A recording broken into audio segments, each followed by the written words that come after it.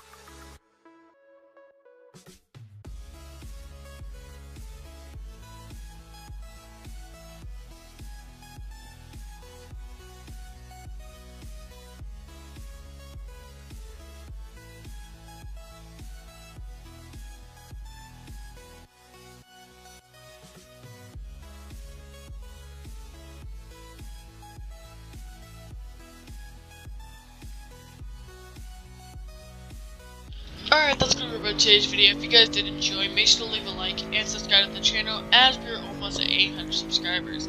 I would like to thank everyone for the recent support while I've been gone dealing with things in life. And I haven't really been recording, so I would like to thank everyone for the support.